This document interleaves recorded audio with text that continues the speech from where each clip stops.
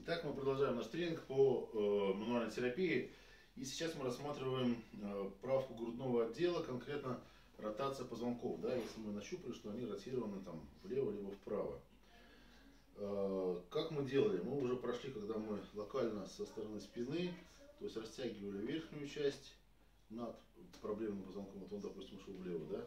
Верхнюю мы растягивали, сюда упор делали и толчок осуществляли в него и вверх.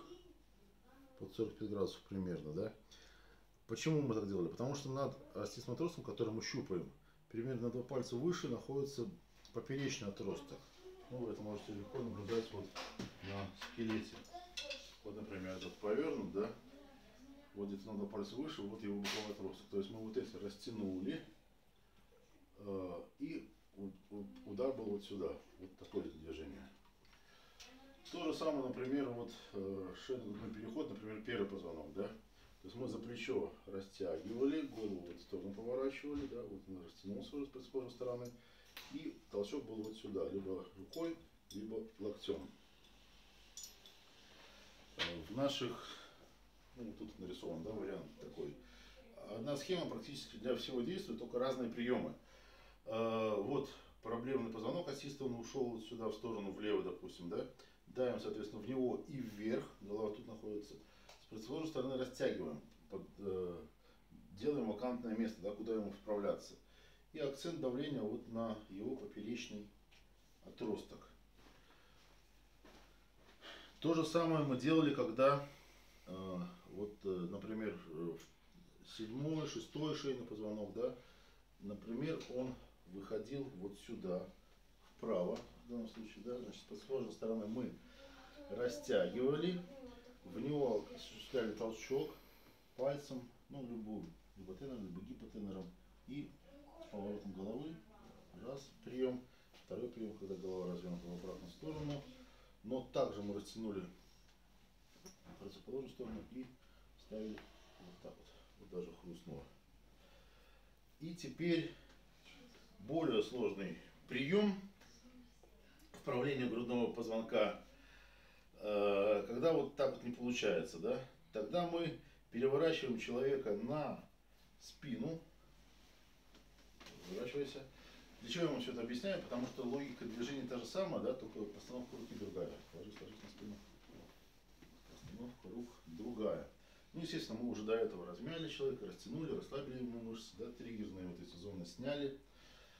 Теперь нам надо положить локти вот так вот, локоть на локоть. Верхний грудной отдел позвоночника рассматриваем.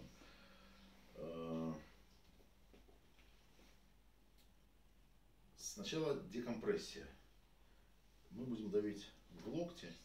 Э, человек лежит прямо, да? Нос и локти находятся на оси позвоночника. Движение получается какое? Обратите внимание, ребра идут под углом вверх, да, сзади вверх.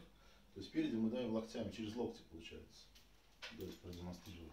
Вот через локти примерно вот так вот мы давим на грудину, а с этой стороны мы поднимаем, пожалуйста, вот так, помогаем декомпрессировать, да. Ну, примерно участок такой, смотрим вот э, третий, четвертый, пятый грудной позвонок, да, вот примерно этот участочек сейчас, сейчас мы рассматриваем. Значит, смотрите, как этот прием осуществляется. Подбираемся под тот позвонок, примерно пятый, да, вот держим за него, так прямо ручками. Э, череп лежит на предплечье, мы также вот рычаг осуществляем. А здесь мы своей грудной клеткой давим на его грудную клетку вверх. Вверх и вниз по 45 градусов. Вот, где-то там уже хрустнуло. Ложись, ложись, ложись. Хрустнул в том месте, где держал или повыше чуть-чуть? Примерно там же. Примерно там же, вот. То есть декомпрессировали его дополнительно, да? А теперь будем поворачивать. Условно определимся, что он у нас развернут вот туда. То есть если ассист вниз, вот туда. Нам надо будет поворачивать сюда. С противоположной стороны растянуть. То есть, соответственно, растянуть. Как мы это будем делать? Вот, складываем ладонь вот так вот, остистые отростки ложатся вот так у нас получается вот эти пальчики противоположные стороны растягивают, А косточкой гипотенера вот это, да, мы в конкретно позвонок прицеливаемся. Вот так вот ставим и получается вот эти пальцы растягивают, а вот этот палец, вот этот позвонок вправляет. Вот так. Одним движением.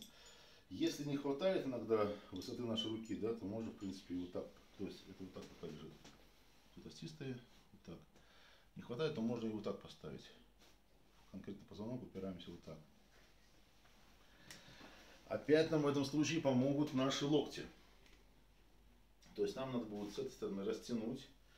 Сначала прицелимся. Вот вот щупаем.